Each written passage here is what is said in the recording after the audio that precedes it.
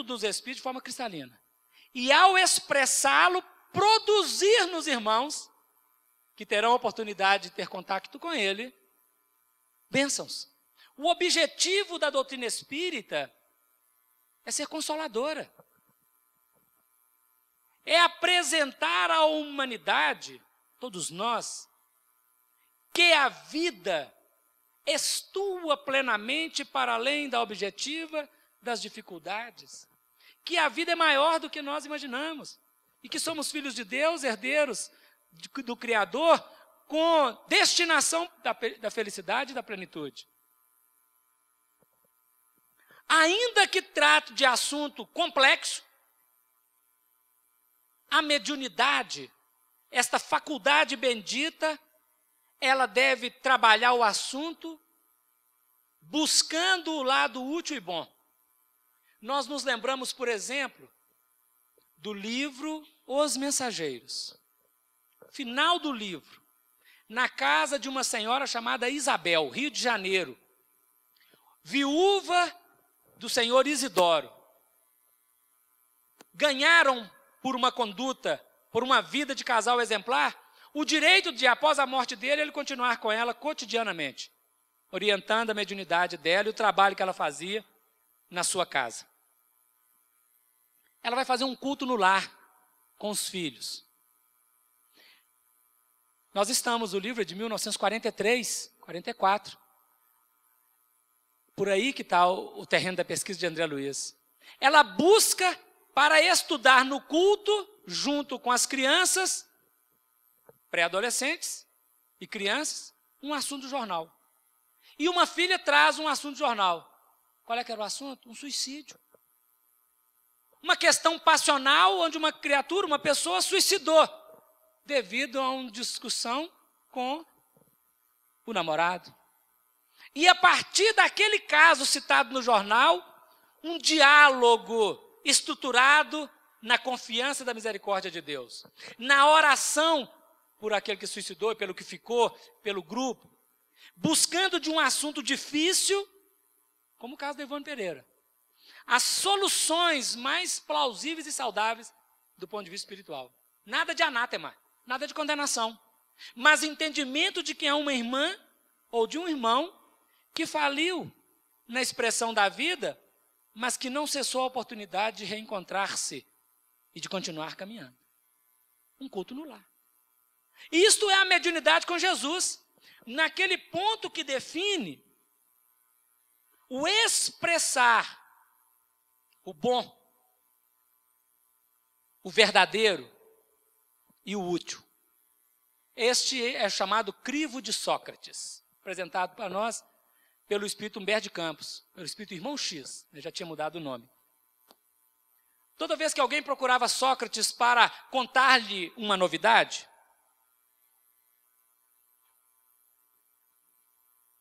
Sócrates dizia: Antes que você me fale, responda-me, por favor. Isso que você vai dizer é verdadeiro? Porque se não for verdadeiro, nossa conversa acaba aqui.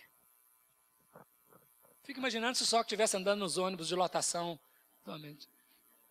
Seria um tormento para ele ouvir tanto caso. Se for verdadeiro, vou te fazer a segunda pergunta. Que às vezes pode ser verdadeiro. Mas é útil? Pode ser verdadeiro, mas pode não ser útil. Não devia ser muito fácil conversar com Sócrates. É verdadeiro, é útil. É útil. Tem mais, tem mais uma. É bom, porque pode ser verdadeiro, pode ser útil, mas pode não ser bom. É bom? É bom, então pode falar. Se nós usássemos este crivo, adeus fofoca. Certa feita, um repórter aproximou-se de Francisco Cândido Xavier. Podemos fazer entrevista, Chico? Podemos. Começou a perguntar. Pergunta, pergunta, pergunta. Depois de algum tempo, o repórter falou assim: Chico, e tal situação assim? O Chico pôs a mão no braço dele e falou assim: meu irmão, vamos parar por aqui, porque fofoca mata. A pergunta do rapaz era sagaz. era para entrar em assuntos desconcertantes que iria versar sobre pessoas. Iria condenar, absolver pessoas. E o Chico Xavier não estava aqui para fazer isso. A mediunidade cristalina dele era para, para propagar o bem e não fofocar sobre alguém. Fofoca mata. Então, se nós apropriarmos-nos do crivo de Sócrates, verdadeiramente nós teremos banido da face da terra a fofoca, a intriga, a conversa que não produz nada positivo. Antes denigre. E aí nós começamos a ver uma questão expandindo o terreno da sintonia e da mente que permanece na base. Para a mente e suas vibrações, não existe distância espacial. Não existe distância espacial. Quando nós começamos a proferir determinado conteúdo, nós nos sintonizamos com todos os que estão vinculados àquele conteúdo. Não importa se está na China, no Japão, na Cordilheira dos Andes ou em Mercúrio. Sintonizamos. Claro que com os, os outros planetas a coisa não é tão fácil assim. Aqui na Terra é mais fácil. Mas sintonizamos. Não precisa de estar do nosso lado. A comunicação mediúnica não precisa do espírito estar do nosso lado. É ligação mental, é sintonia mental.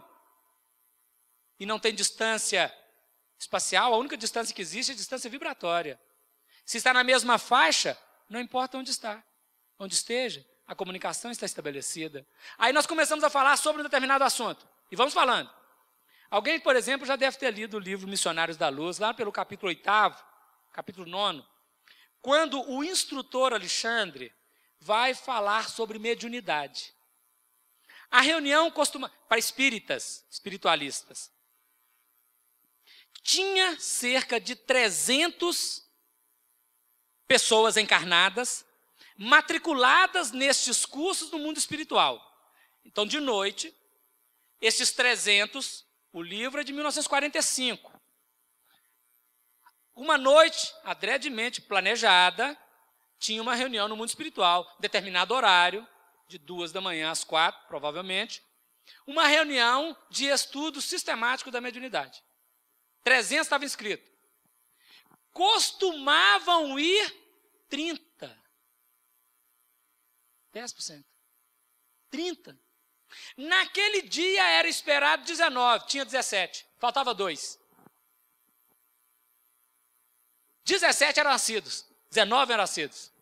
Coisa assim. Posso estar enganado com um ou dois aqui, mas.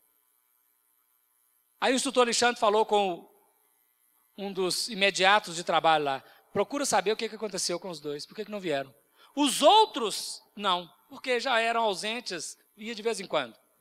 Mas aqueles dois estavam constantemente na reunião, procura saber. Foi, chega na casa do rapaz. Ele estava, o corpo lá dormindo, e ele justaposto ao corpo, tremendo, em calafrios, sentindo um pesadelo. E começou a pensar com ele assim: o que aconteceu comigo? O que eu comi essa noite? O que eu comi no jantar que está fazendo essa doideira comigo aqui? Estava tendo um pesadelo. Ele achou que era uma congestão. Do lado da cama estava um espírito de mau humor, algo agigantado, punho fechado, falando assim: eu esqueci o nome dele. Amigo, vem para fora que eu quero conversar com você. E ele lá com medo, paralisado. Por quê? Porque no dia, este amigo dele tinha desencarnado, tinha uns quatro ou cinco meses. Por aí assim, um ano. E ele nesse dia resolveu falar desse amigo porque o fulano fez assim. Ah, porque o fulano era desse jeito. Ah, mas você não sabe o que, que ele andou fazendo. E falou, falou, falou. E ele excedeu um pouquinho no mérito da, da apreciação dele. Ele não perguntou se era verdadeiro, se era útil, se era bom que ele estava falando. E o moço, onde é que estava, escutou e falou: Não, vou lá para explicar para ele que não é bem assim. Olha a situação. Quando ele estava dormindo, ele começou a dizer, hoje tem reunião. Leu a página, Evangelho segundo o Espiritismo, ainda não tinha o Caminho, Verdade e Vida, né? Caminho, Verdade e Vida de 48, ainda não tinha. Ele leu lá o, Evangelho com o Espiritismo. Aí ele começou a dormir, pôs a mãozinha. Aí começou a sair do corpo. A hora que ele abriu os olhos, que ele viu, voltou. que susto, meu Deus do céu. Aí ele abriu um olhinho só assim, ó. O homem tá lá, vem, vem que eu quero conversar com você. Ai. Deram um toque nele. Ele acordou e falou: Nossa, que pesadelo, meu Deus, o que, que eu comi? O que? Deve ter sido a cereja do bolo. É a fofoca, não é a cereja. Foram no outro. Chegaram no outro, cena lastimável. Está narrada no livro. Encontraram-no dentro de casa, descomposto, né? Com as vergonhas à mostra e mais outros três espíritos femininos, numa farra. E quando os instrutores chegaram, elas disseram: alto lá, ele é nosso. Ele passou o dia inteiro nos requisitando, e nós viemos de longe para um curso de prazer. Ele hoje é nosso. Vocês não poderão levá-lo. Aí não quiseram acordá-lo. O instrutor falou: não podemos acordá-lo. E André Luiz perguntou: por quê? Por que, que o outro nós acordamos, fofocou, e esse nós não podemos? Porque o caso desse era mais grave no terreno da irresponsabilidade. O outro foi na fofoca, mas com um grau menor. Não foi de mal.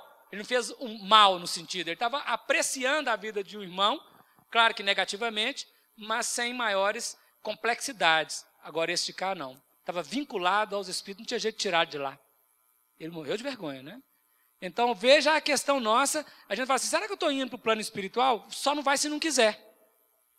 Todos nós temos matriculados no mundo espiritual cursos para o nosso aperfeiçoamento, para o nosso estudo, para o nosso adiantamento. Nós só não vamos ao mundo espiritual durante a noite para os estudos se não quisermos, se não nos prepararmos bem durante o dia, se não cultivarmos uma conduta mais adequada, se não mantermos um padrão vibratório na sintonia boa, claro que ao sair do corpo à noite, nós vamos vincular com elementos que era o cotidiano.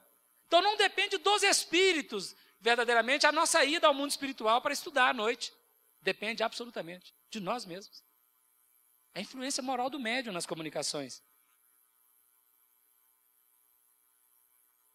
Influência moral do médium. Esta é a segunda mais famosa triangulação da história da humanidade. Qual é que é a primeira e a mais famosa triangulação da história da humanidade? Essa é a segunda. A primeira. Vocês identificaram quem que é a turma aqui?